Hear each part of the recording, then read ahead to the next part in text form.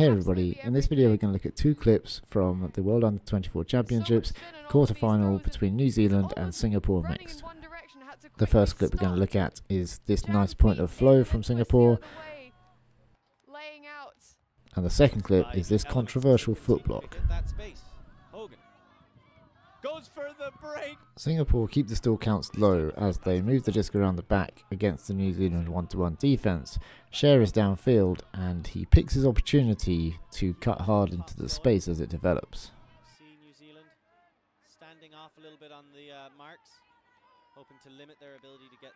Two cuts are aimed to the same space at the same time and Scher reacts properly to this by faking that is a delightful inside scoop. Ong has recognised it as well and changes direction at the same time as the fake. This is a brilliant scooping inside backhand throw from Scher, punishing the loose force, and he oh, releases the disc with his right foot off the ground, which means that it's nowhere near a travel and he can accelerate out of the throw pretty quickly. After releasing, he looks for the return pass, which is a great principle to have in your offense. After catching this one towards the line, Scher doesn't waste time pointing his hips downfield.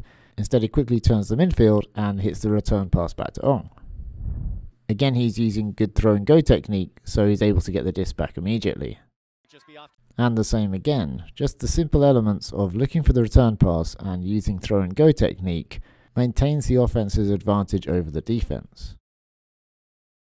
Another thing to note at this point is how the players behind the disc are just hanging out and allowing the players downfield to keep moving the disc between themselves. Both of the defenders are expecting the return pass now, so they both commit to covering it. But Ong doesn't even need to fake it because he's got Teo in the middle of the field free. So let's have a look at how Teo got free.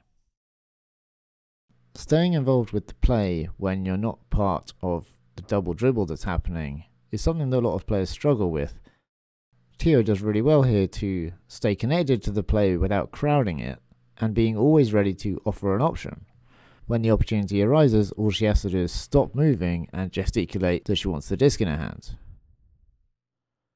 Ong's throw and go technique isn't quite as good as Scher, so he's not able to get free immediately, but really Teo should have stayed looking at him and given this return pass as well.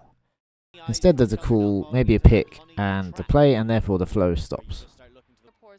Ong gets free immediately and Teo's defender runs downfield expecting her to clear through, allowing the return pass, which Ong should really take, and then the continuation would be easy to share, but instead he looks in field and then throws to Scher himself.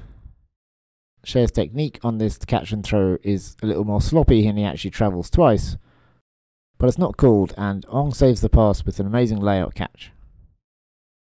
Scher's gone for the return pass again, so it's a simple pop to keep the disc moving, and then the continuation pass to Hui in the end zone is similar to the one before in that she just basically has to stop moving and expect the pass to be thrown.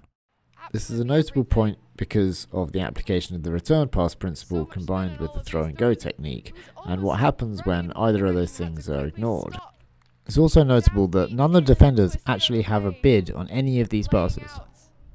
There's also a lesson in here about how to play downfield when players are double dribbling, what to look for and what moves to make to get the disc in your hands. The next clip we're going to look at is a controversial foot block, which was kind of enraging when it happened. The dump defender peels off into an illegal double teaming position. The thrower doesn't see it, pivots out, and the double teaming defender gets a foot block. Now, by the letter of the rules, I believe that this is a turnover because the thrower should call the double team rather than just try and throw through it. But in this situation, the thrower doesn't see the double team, so they can't call it. Now, obviously, that player breaking the rules should not be doing that. They should not be moving into an illegal position. But there isn't a part in the rules that says that this illegal positioning in the double team situation means that a turnover is negated. The spirit of the rules say that the play should resume in a manner as if there had been no infraction. In this case, if that player had not double teamed, there would not have been a foot block, so therefore it doesn't make sense for it to be a turnover. However, this is just in the spirit of the rules, and I believe it's actually a specific example given in the annotations, but by the letter of the rule, it stands as a turn. In my opinion, the players in this situation should overrule the rules, essentially, and decide between them that going against the rules in this situation makes most sense because this turnover shouldn't stand. It would be a bit less awkward if it was actually in the rules that this shouldn't be a turnover. Going a step further with this, why are double teams illegal? I think if any other player from any other sport looked at this, they would initially just think it was good defense. after the throw. From what I've seen of the AUDL, where double teams are allowed, they haven't massively changed the game in terms of defense will double team and it will cause massive problems for the offense. In fact, whenever I've seen teams try to double team, the offense has found the open player and then been able to use that to their advantage.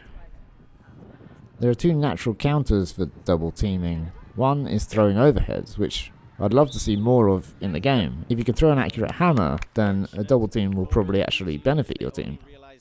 But then, what about in a situation where you have a much shorter player and two much taller players double teaming them? Well, I still think it's possible to get throws out against them and break down the defense with those throws. But if you're in that situation, then it probably means that your flow has already stopped, and so therefore your offense has already done something wrong. If you keep the disc moving in under three seconds, it's very difficult for those two defenders to actually get in that position and double team you effectively. So let us know in the comments, what do you think should happen here? Do you think the players should just overrule the rules? Do you think the rules should be changed so that they say that this is not a turnover? Or do you think that the double team rule is unnecessary and if it was removed it might actually teach players to be more versatile with their offense and with their throwing? I hope you enjoyed this video and I'll see you again soon.